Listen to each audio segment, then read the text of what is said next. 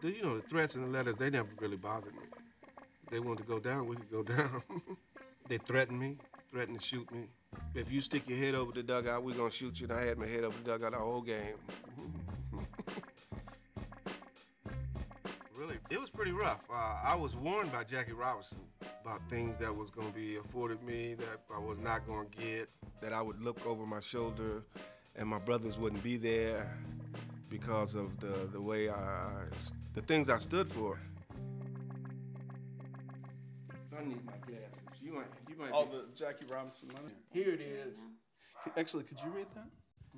I read your comments in our paper the last few days and wanted you to know how much I appreciate your courage and honesty.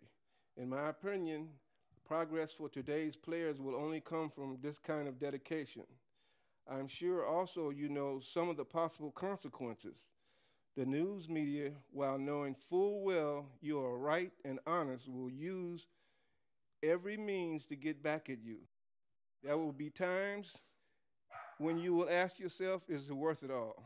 I can only say, Dock, it is. And even though you will want to yield in the long run, your own feeling about yourself will be most important. Try not to be left alone. Try to get more players to understand your views, and you will find great support. You have made a real contribution. I again appreciate what you're doing.